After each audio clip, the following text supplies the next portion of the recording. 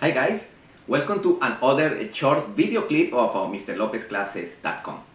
Uh, today we are going to talk about uh, the difference in between the DC negative bus bar and the AC ground bus bar.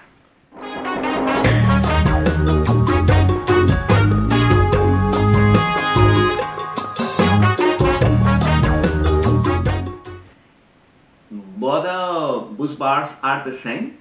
No, at the end are connected in the same point, but they are different. And today we are going to analyze the difference between those bus bars, the negative in the DC panel and the ground in the AC panel. Okay guys, we are going to refresh quickly this, uh, this uh, board that I prepared for you. I, I have uh, in, in the left side uh, the AC, the AC panel, and uh, in the right side the DC panel. Okay, uh, in the DC panel, uh, we have uh, the power coming from the batteries. The battery, the switch selector, enter in the main breaker, and after that in the small breakers. And uh, we are going to connect, in, in, this particular example, a motor, a DC motor, that one, uh, connected with the positive coming from the breaker, the negative coming from the DC, negative bus bar, and the case of the motor is connected to the bonding conductor, the bonding conductor. Okay, this is, uh, this is the situation. And this is the negative bus bar, the DC negative bus bar on the DC panel. Okay, now we are going to check what happened in the AC panel.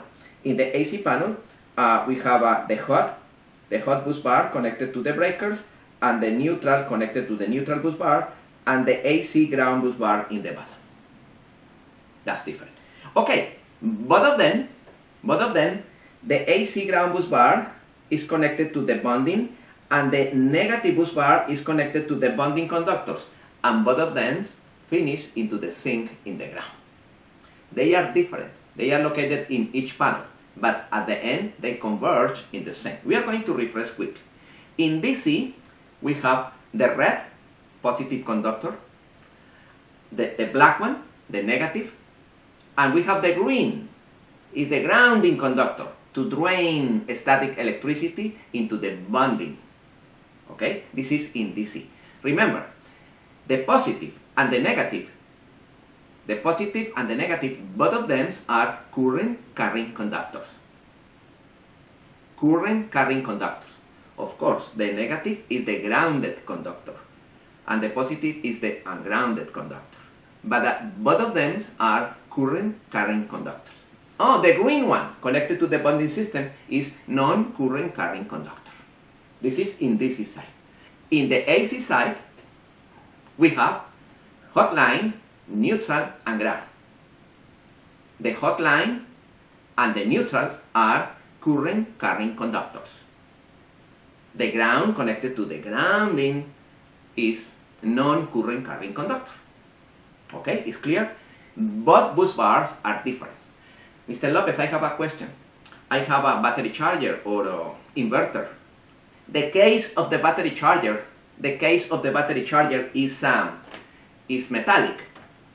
Where should be connected that metallic case, the case of the charger or, or inverter?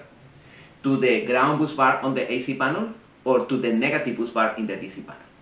Okay, the answer, my recommendation is the metallic case of those equipment should be connected to the AC ground bus bar on the AC panel. That's okay. Finito. And, the, and that bus bar should be connected to the bonding according with the diagram that we have on the, on the board right now. Okay, that's the situation.